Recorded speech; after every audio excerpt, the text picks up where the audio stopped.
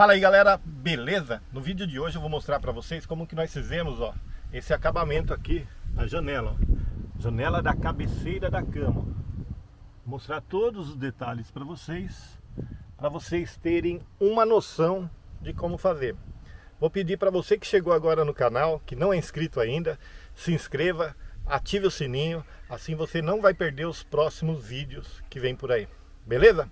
Vamos lá, vamos acompanhar como que foi feito esse acabamento aqui, ó, que ficou show de bola. Bora! Aqui, galera, no quarto, para aproveitar ao máximo, né, o espaço, né, o que que eu vou fazer? Eu já tenho a janela aqui colocada, instalada. Vou colocar aqui, ó, de fora a fora aqui, ó, uma madeira aqui, nos quatro, nos quatro lados, né, de 20 milímetros. Para quê? Para ela chegar mais ou menos aqui, ó, até a altura da janela. Depois a gente vem, depois de colocar dessas madeiras, a gente vem com essa outra madeira aqui, ó. Que ela vai encaixar exatamente ali. Fazer só um simulado para vocês verem, né? Vai exatamente encaixada ali. Essa vai colada na madeira que nós vamos colocar ali. E depois, por cima dessa madeira aqui, ó, vem a guarnição. Então vou fazer agora, mostrar para vocês, né, como vai ficando, para vocês acompanharem. Já colei ó, a madeira na lataria com PU preto.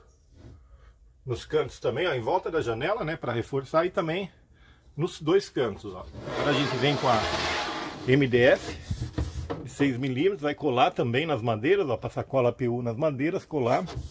Depois de colado, vem essa guarnição aqui interna da janela, ó, que dá o acabamento. E posteriormente a gente vem aqui, né, com a aba em volta aqui, vocês vão entender depois, em volta, né? que dá o acabamento final. Aqui, ó, a forração já está pronta, né, para ser colada. Ali eu fiz aquele furo, ó, para a gente poder passar esse conduíte que desce ali, ó, conduíte que desce, tá? Aqui, ó, vou passar PU em todas as madeiras, né, em todas elas. Depois a gente vem com a madeira, prensa ela ali e deixa de um dia para o outro. Aqui, ó, já fiz o revestimento, ó, com lã de rocha, tá?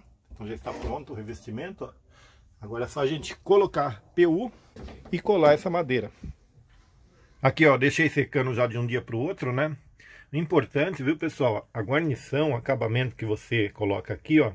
Quando você for colar essa madeira aqui, você deixa ele aqui, né? Para ver se ele não vai é, ter dificuldade para entrar. Para ver se ele está entrando certinho, porque ele vai depois, né? Depois que a gente vai colocar ele.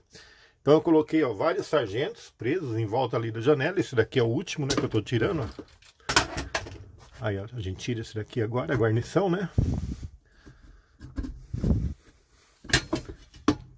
Aí tá solta. Ali nas pontas também eu coloquei aquele extensor de pintura, um ali e outro aqui na ponta. Aqui o, furo que eu fiz para passar a fiação, né? Agora a gente vai dimensionar aqui a segunda parte que vai aqui, né? Que é o acabamento que vai só nas extremidades aqui, ó. Bora lá? Agora aqui, ó, eu cortei, né? Um MDF de 6 milímetros, cobrindo toda essa área aqui, né? Certinho, para ele encaixar perfeitamente, cobrindo tudo. Aqui, ó, eu cortei ele, ó. Então tá cortado, que eu vou deixar só as bordas. Então essa peça saiu dele, né? Esse pedaço de madeira saiu dele, ó. Já está ali o furo onde vai a tomada, depois vou furar embaixo também para colocar USB. E aqui, ó, eu engrossei com madeira de é, 8 milímetros, então dá 6 mais 8, 14, para a gente poder, poder colocar, ó, esse acabamento aqui.